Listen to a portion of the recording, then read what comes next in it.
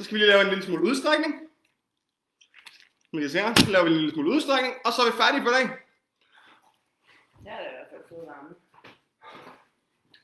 Først så skal vi lige prøve at stille os med benene her. Så samler vi fødderne ind her og knæene.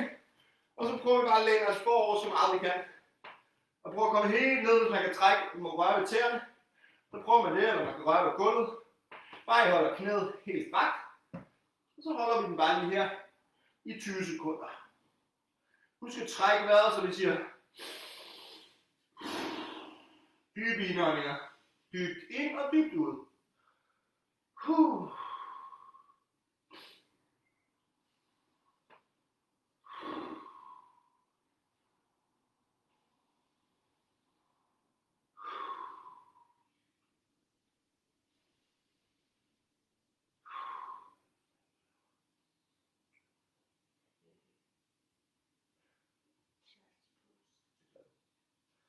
Uh. Så har Laura, hun har det næste udstræk. Jeg skal vi ned og lægge gulv. Ja. Og så skal man lægge hænderne frem. Og så skal man bare lægge os bag. Så lægger man sig ned på knæene, og hvis det gør for ondt i knæene, så kan man lige lægge en lille pude eller noget ind under knæene. Og så bare lægge sig ind under. Og så lægger man her, og husk at trække vejret dybt ind igennem næsen og ud igennem munden. Så vi bare tager dybe indåndinger. Prøv at se, om vi kan få panden i gulvet. Og mærke et godt stræk hernede i ryggen. Eller måske skuldrene. Ja. Nogle kan også godt få dem op i skuldrene, det er ikke rigtigt, hvad Laura hun siger. Det er lidt, hvor man sådan har lidt ømhed, eller man har lidt smerte i hverdagen. For mig der kan jeg mærke det rigtig meget nede i min lænd hernede, så det er rigtig dejligt at få strukket den.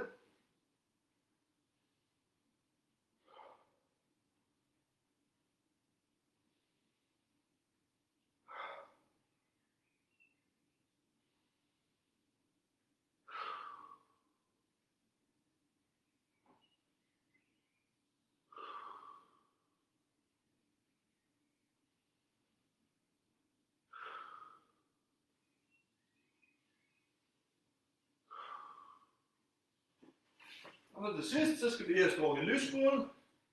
Og igen skal vi bruge vores værtrækning. vi skal bare lige op og stå en gang her. Så stiller vi os ud lige så bredt vi kan stå her, hvor tæerne peger fremad. Og så prøver vi stille og roligt at sænke ud over det ene knæ her.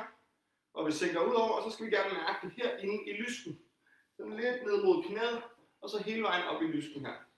Så sænker vi ud, og så holder vi den her 30 sekunder. Og igen husk at trække vejret sådan dybt ind igennem næsen, hele vejen ned i maven, så vi siger.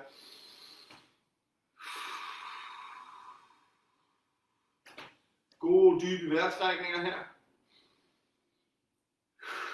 Og hvis man kan nå mor og far kilde dem lidt, så må man gerne, så må man gerne lige kilde hinanden lidt. Man må også gerne skubbe hænderne væk. Så må man gerne lige. Så længere man bare derude.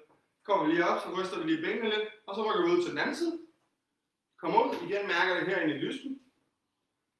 Får et godt stræk derinde. Og så håber jeg, at I alle sammen har fået lidt sved på panden i dag. Fordi øh, det er jeg her i den her varme. Så men det er meget dejligt. Så jeg håber, at I har fået en lille smule sved på panden. Jeg håber, at I har hygget jer. Jeg håber, at I har haft det godt.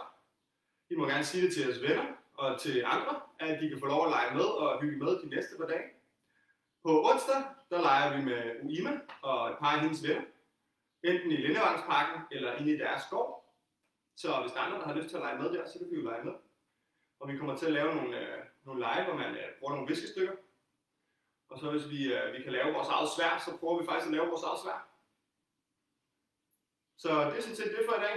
Så kommer vi op her, ryster benene, og så siger vi tak for i dag. Tak fordi I gad at se med.